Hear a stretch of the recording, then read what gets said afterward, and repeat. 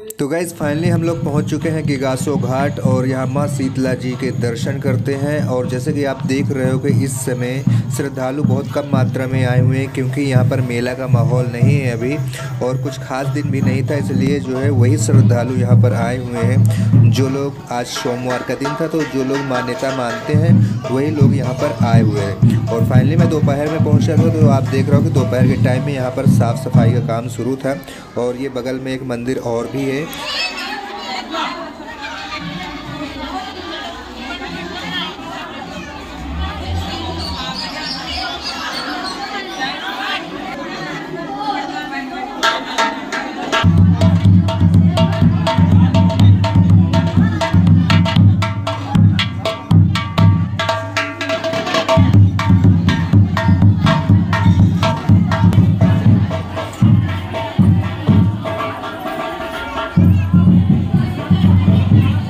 और गई, जैसे कि आपने देखा कि यहाँ पर बहुत दूर दूर के श्रद्धालु आते हैं, जो मान्यताएँ उन्होंने मांग कर रखे हैं, वो प्रॉपर मंदिर पर जो है मान्यताएँ अपनी पूरी करते हैं। और यहाँ पर जैसे कि आप देख रहे हो कि यहाँ पर मार्केट भी है, महिलाएँ यहाँ पर अपनी ज़रूरत की सामान भी परचेज़ करती हैं, और भी जो ज़रूरत की सामान होती है, वो यहाँ से परचेज़ करती हैं, बच्चों के खिलौने और धागे वगैरह जो भी है, यहाँ से ये लोग परचेज़ करती हैं, जो कि काफ़ी ब्यूटीफुल है, और ये यहाँ की जो शॉप हैं, वो भी देखने में बहुत ज़्यादा खूबसूरत लगती हैं।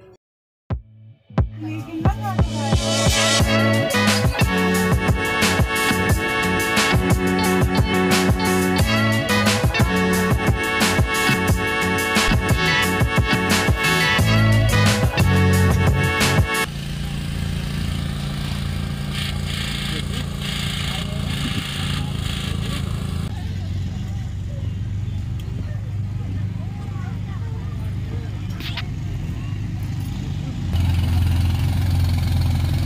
और गई जैसे कि आप देख रहे हैं, यहाँ पर नाव में एक मोटर लगाने के बाद उसको स्टीमर जैसा बना लिया गया है और ये भी यहाँ पे जो श्रद्धालु लोग आते हैं, वो प्रॉपर गंगा स्नान करते हैं। गंगा स्नान करने के बाद वो स्टीमर में घूमने का मज़ा भी लेते हैं। और यहाँ पर ये अंकल जी देख रहे हो अपने काम में व्यस्त हैं और यहाँ पर शॉप सजी हुई हैं।